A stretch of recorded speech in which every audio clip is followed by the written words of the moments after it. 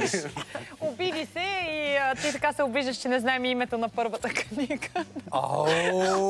Шегувам се, Жори, шегувам се. Аз в момента чета втората ти книга, така че а, благодаря, че, че си я написала. ме много заба- време. А, Да, За написването му отне бая време. Не знам какво път толкова. Да. Но още една дама тук с книга ще представям сега. Те а, написаха книга заедно с а, мъжа и Джулиана Гани и Ляна Найденов имат да ни кажат важни неща и понеже днес е и благата вест нещата и за децата ще си говорим и за пътуванията и какво им се случва по време на пътуванията, защото те винаги имат интересни и странни истории. Ето с какво ще ни изненадат този път. Жоре, слушай. Откъде е този тен? Не знам дали имам чак такъв тен. Ние току-що се прибрахме от Доминикана. Това ми беше почивка от Илян за 30 годишнината ми. Искахме така да е нещо запомнящо се. Изкарахме си готино, но може би заради COVID не беше точно това, което аз си представях. Аз си представях, че по цял ден ще има партита, някакви аниматори, които да занимават туристите ще има музика и такова едно карибско настроение навсякъде. Но не беше точно така, за съжаление. Даже ходихме в целия комплекс с маска. Само на плажа бяхме без. А около вашите почивки винаги има много интересни истории. Не ви обраха този път, но се случи нещо друго. На него се случи между другото. Аз а, нямаше как да не се изявя още с пристигането и слязохме на летището в а, Пунта Кана. Излязохме от летището, качихме се в автобуса, който да ни закара шатъла към хотела и съответно наш Илян каза, скъпа, ти взели ми трите телефона от а, самолета? И тя каза, не, ти трябваше да си ги вземеш. И аз казах, аз не ги взех. Е, значи са в самолета. И гледай шоу, тръгвам наобратно, съ- съответно се досещате, че летището не е като автогара, не си минаваш където си искаш. Отидох на изгубени вещи, 330 хиляди разправи, докато накрая не ме изкараха на пистата обратно, където една от жените, които почистват самолета, за да тръгне той обратно за Испания, беше свалила телефоните и ни чакаше и буквално ми ги върна и самолета излетя за, обратно за Мадрид. Вашето детенце, което от Инстаграм разбрахме, че е проходило и че все пак ще направите прощапулник. А, Предполагам, сте имали и погача. Не смятате, че това, тези традиции са от живелица? О, да, ние спазваме абсолютно всички традиции. Давид си имаше питка за 40 дни, после мисля, че му празнувахме 50% рожден ден. След това рождения ден, именния ден, абсолютно всичко спазваме. Според мен това не е от живелица, това са си едни български обичаи, които е хубаво да спазваме. Казват, че детето ще проходи по-лесно и ще му е на късмет. Аз на мой прощапулник, да, между другото, съм хванала а, висока обувка с токче и много камъни. Давид вече не е чак толкова малък, но все пак сте минали през това нещо.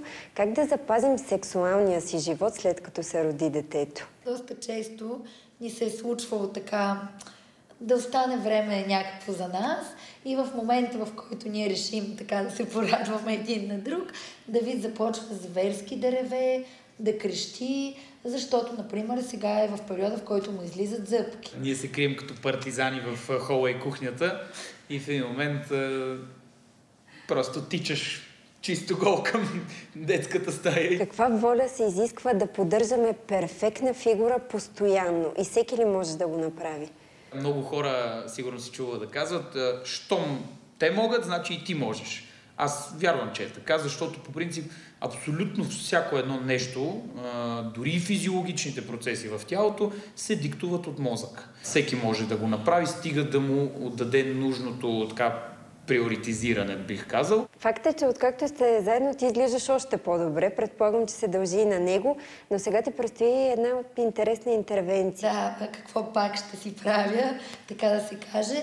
Ами това е една ултразвукова технология, която е за повдигане на допето, на седалищните части, като аз нямам особена нужда от това, но пък защо да не си го направя, за да съм още по-секси. А, тя Джулка. Много е сладка. Много е сладка. Много е сладка, Джули, много е готина и наистина изглежда перфектно. Не смятам, че има нужда от а, тази процедура, за която Е, спомена не накрая. видяхме, но- беше седнала, не видяхме. Аз Може мисля, и че да- всички сме виждали снимки от последната им почивка. Нали, мисля, че задните и части са прекрасни и няма нужда, но щом пък е решила, няма лошо. Нали? Важното е човек да е щастлив. И а, аз знаете ли какво си мисля, че тя и преди изглеждаше много добре, но наистина заедно с Иляна изглеждат още по-добре. Може би пък някой път човека до нас ни прави по-красиви, по-добри и те са се намерили и това им личи определено. И, а, и също Иляна разказа много интересно ми стана сега с този телефон.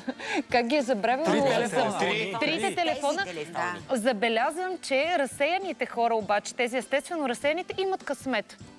Ето, че е забравил си ги, не му се случва за първи път, обаче е успял да ги намери малко преди да излети самолета. Случило ли ви се нещо що- подобно? Защото, примерно, аз много рядко забравям нещо. Много се дразня, ако забравя нещо. Обичам всичко да си е заедно с мен, нищо да не остава в хотел или някъде другаде. Но ако ми се случи, със сигурност няма да имам късмета да си го намери и много ще се ядосам след това. Аз си мисля, между другото, за, забравям. да, за тези традиции, за които говореше, говореха те. По принцип, хубаво е да се спазват традиции, защото това наистина те държи и връща към корените, обаче трябва да го усещаш вътрешно. Аз съм била на разни сватби, където се е, така спазват традиции, по-скоро някакви ритуали, които а, просто изглеждат като кичозни изпълнения, защото не, не е вътрешно присъщо за хората, Да. но същевременно се така в, напоследък започнаха да се спазват, т.е. не традиции, някакви ритуали се въведоха, аз дори не знам вече кое какво е. Ето сега разбрах, че половин рожден ден Да, се празнува. Не, не е половин рожден какво ден. е? 50%. 50. А, 50% така. Има бейби шауър, има не знам какъв шауър, има не знам си какво.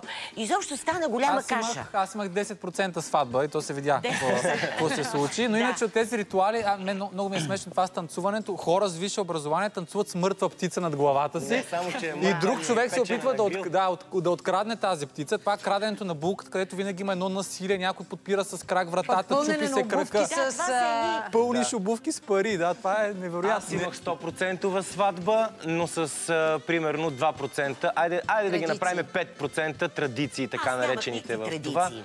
В смисъл, посрещането на младоженците от е, тези неща, нали, ги имахме, но сега да купувам булка, да трошим къщата на хората. Аз и брат ми сме едри момченца, ще така... Не, не ми се стори, прек- малко ми е На мен най-много ми липсват тия анализи с парите, които бяха. Това просто... Това каква красота, какво нещо. Така, така, така, така, така, така. И булката така с анализи. И застане на снимка, Да. Е, Някои традиции Хубави си заслужават, но не хубави. всичките, да. Примерно прощапулника, разбира се, нали, да. някакси Да, да, да. гадаеш какво ще се случи с детенцето ти, но има други, които и аз също не ги разбирам и смятам, че това, което каза и Криси, трябва да ти идва от душата. Не е необходимо пък всичко да спазим, нали. Може просто една част. Абсолютно си права, Гери. Аз също съм привърженик на погачите, защото тогава се събират, доколкото знам, само Точно жени се така, събирате да. чудесно. Да. И ние, мъжете, имаме прекрасно свободно време. а пък по- То, слава Богу, е само до залез подкрепяйте тази традиция с погачета. Много е хубава. Да. Много е хубава. Даже по няколко пъти си спомня моя големия син, като му търкулнаха питката, имаше много неща там а, наредени, да. но той отиде, взе питката и я захапа, както едно дете може да я захапе на така. Не, не стана хлебар, жив и здрав да си го да знам. Може и, и, и, и не, и както и да е, да. Тя и Мари хвана един а, сценарий на вид на рулон мой с а, някакъв а, молив имаше закачен за него, но не стана пишеш. Човек стана Жоро. Чакай, има време. Знам. Аз, аз нямам Не представа какво съм да. хванал, между другото. Моят син хвана една топка на Ювентус, така че може да стане футболист. Ето, ето на твоя пощапълник сигурно са били шалче на Ювентус, топка на Ювентус, Да, да, екип да, на Ювентус, да. Ювентус. Не, имаше и други предмети. Аз бях чел. Имаше черпак, микрофон, всякакви